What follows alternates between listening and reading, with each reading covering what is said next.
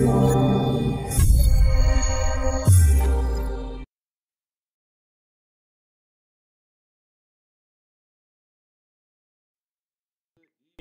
evening. Good evening, everybody. I am Minister Marcus. Welcome to the Maximize Your Life Bible study. What I do on Wednesday nights is I try to give uh, uh, those of us who are trying to live our lives in a positive way, in a Christian way, or in just a good, wholesome way. Uh, uh I try to give us something to keep us encouraged, um, to give us things to think about, different perspectives. Um, and I do it from a biblical uh, base and foundation. And so we're going to go right into it. This month we are in the book of Ruth. We take a new book every month and we're going through the entire Bible with our Wednesday night Bible studies. And this month we are in Ruth. Last week was a great lesson. I'm not going to rehash that. I will bring you up. Um, but if you want to know um, the initial, the introduction of the story and the different things that we can glean, the truth that we got from that, you could definitely go to last week's lesson. But tonight we're going to Ruth chapter 2.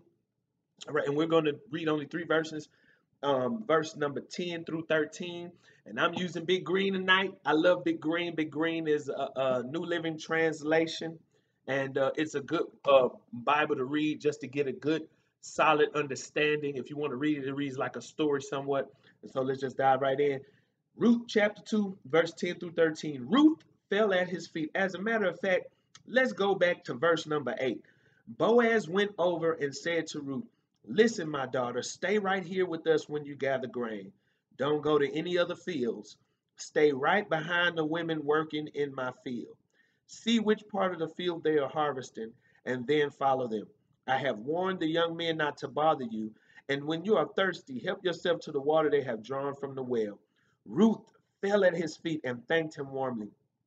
Why are you being so kind to me? She asked. I'm only a foreigner. Yes, I know, Boaz replied. But I also know about the love and kindness you have shown your mother in law since the death of your husband. I have heard how you left your father and mother in your own land to live here among complete strangers. May the Lord, the God of Israel, under whose wings you have come to take refuge, reward you fully for the love you have shown. I hope I continue to please you, sir, she replied. You have comforted me by speaking so kindly to me, even though I am not as worthy as your workers. Verse 14 At lunchtime, Boaz called to her, Come over here and help yourself to some of our food. You can dip your bread in the wine if you like. So she sat with her with his harvesters, and Boaz gave her food more than she could eat. All right, and so tonight, as you know, Wednesday nights, uh, it's not real structured, but I, I try to pull out some things from the lesson that we can learn. And tonight I got three things for you. And for those of you who have been going along with the story, you know that Ruth is the um, daughter-in-law of Naomi who moved to Moab with her husband named Elimelech. Elimelech has died 10 years later after her sons married two Moabite women her sons died, and Ruth is one of the women who her son Mahlon married. All right, and so at this point in the story, um, there's they um, they have returned from Moab. So after the men died, they returned from Moab. The other lady that her son married went back to Moab. Ruth chose to stay with Naomi. It's a great story. It's a great read, a great lesson in chapter one. Uh, I'm to put the link uh, on our YouTube channel so you can go back to that and catch that before you go deeper into this one. But here in chapter 2, Ruth and Naomi have come back to Bethlehem. And at, as, at the beginning of chapter 2, you'll see where Ruth decides to go and find a place to work. And I love these stories, especially this one, because God is not directly highlighted or mentioned in the story, but it does show you a lot of the various characteristics of the people in the story. And one of the characteristics that we see about Ruth, beginning in chapter 2, is it shows that Ruth was not a lazy woman.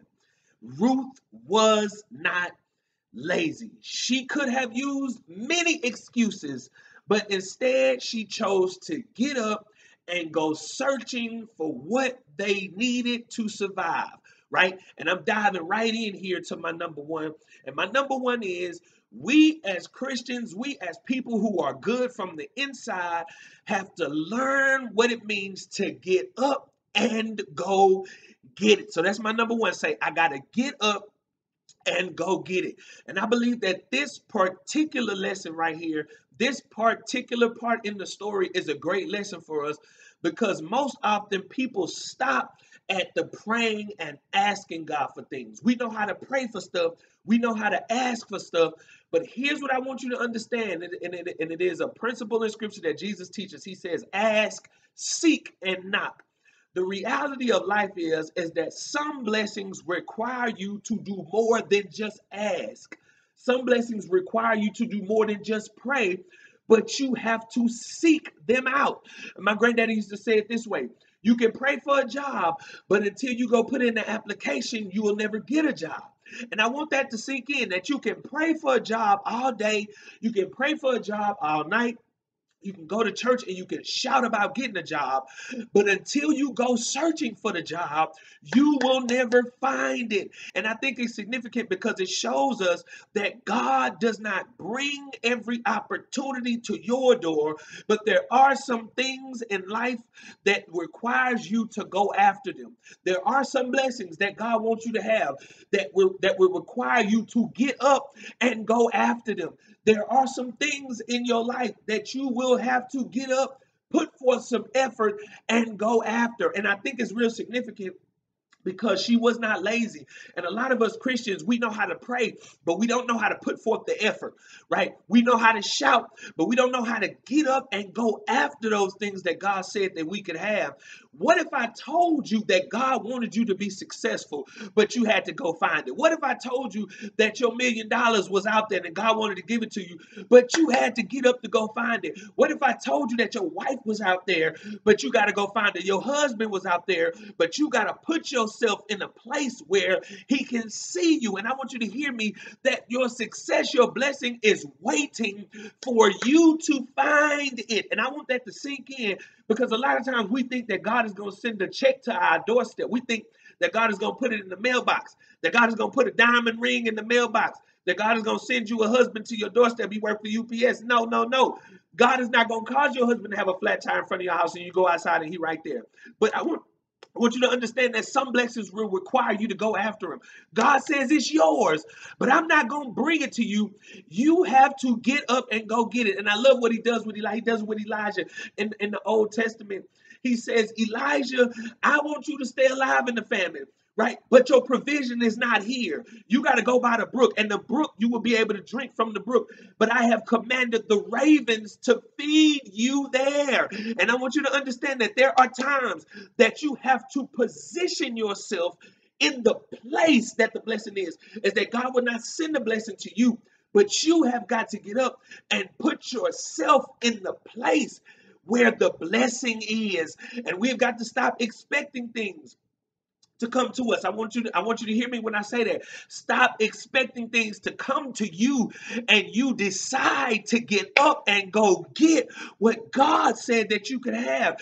And I think it's so significant and I think it's so important that we understand Sometimes people come, they cry, they cry, they cry, they cry until God finally responds with, what are you going to do about? I hear you crying, but what are you going to do about it? Are you going to get up and go after better for your life? Naomi and Ruth have come back to Bethlehem. Their husbands have died, and Ruth decides that she's going to go after some resources. And I wonder if that's you. I wonder if you think that you're sitting back waiting on God, but I wonder if God is actually sitting back waiting on you to get up and go after it. Number one, get up and go after it. It's not going to find you on the couch, but you got to get up off the couch. It's not going to find you on the game, but you got to get up off the game. It's not going to find you watching Netflix, but you got to get up and you got to move on it. Come on, say, I got to get up and go get it. Get up and go get it. And here's what I love about the text when she goes searching the story,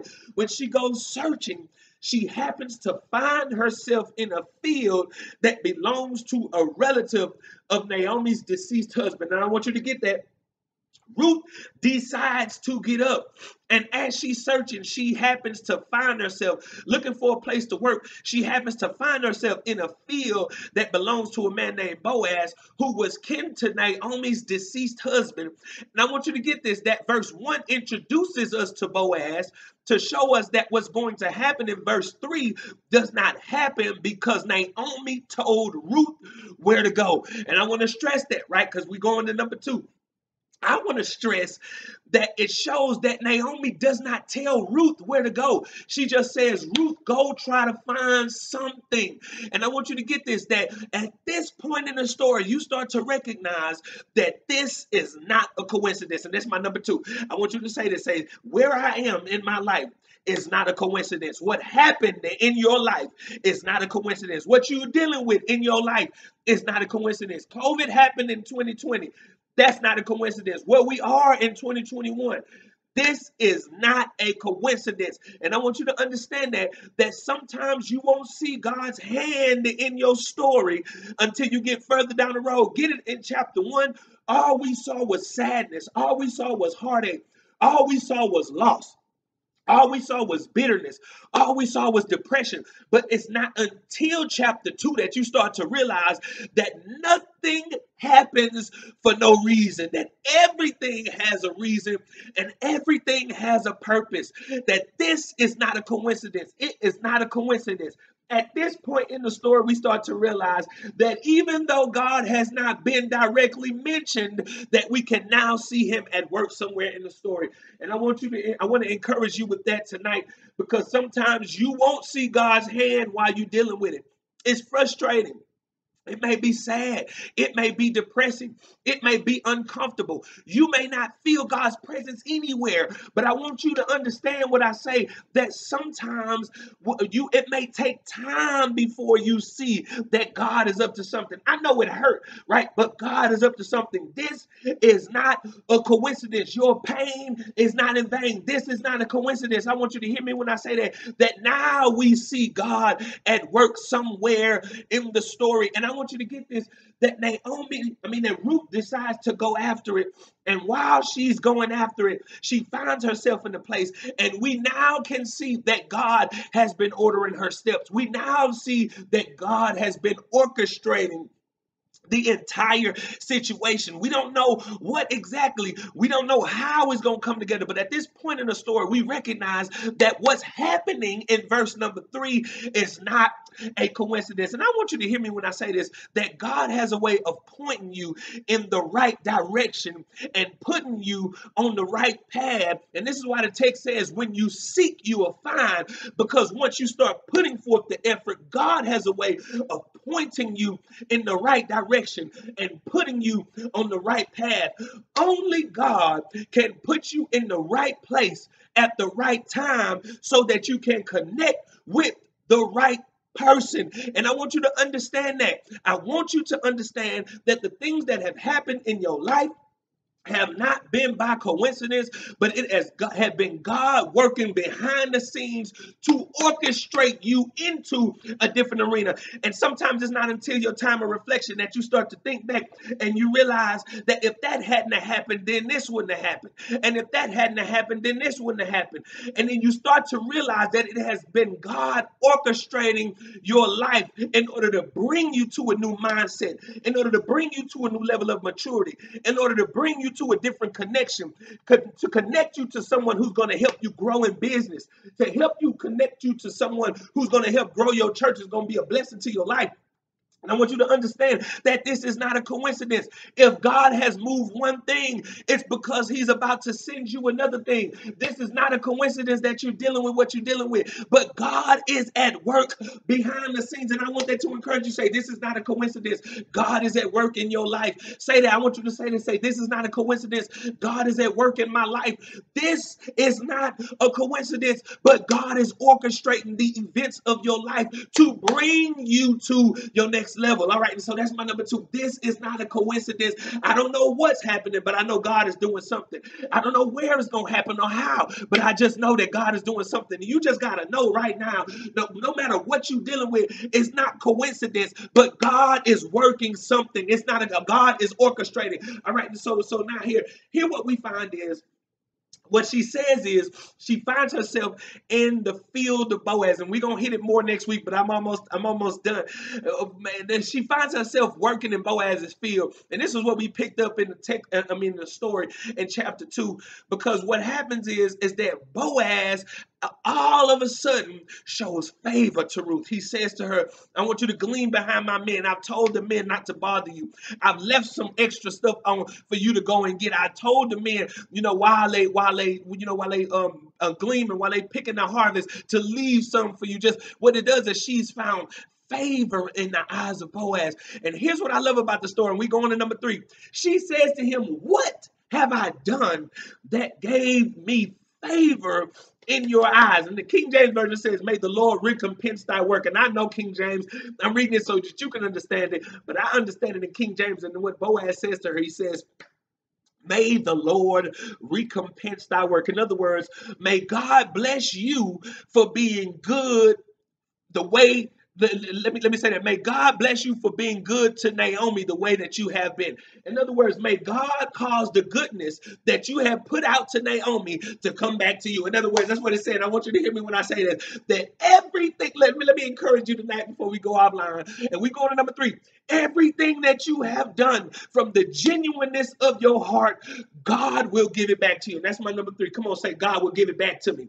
I want you to understand that everything that you have done from the kindness and genuineness and pure intentions of your heart, God will fix it to where it comes back to you. And I want you to understand that, that God will give it back to you. Recognize that her blessing did not come from Naomi, but it did come because of Naomi. And I want you to hear me when I say this that sometimes we get annoyed, sometimes we get frustrated when we do good to people that do, don't do us good in return. But I want you to understand that God may not always bring your blessing out of the place that He used you to be a blessing in. Get that? That some people who you did good, that God may not bring that good back from them. But I want you to hear me when I say this that God will fix it so that the good will come back to you you. And this is why I always encourage people. I tell them, stop getting mad at people who don't do you as right as you have done them.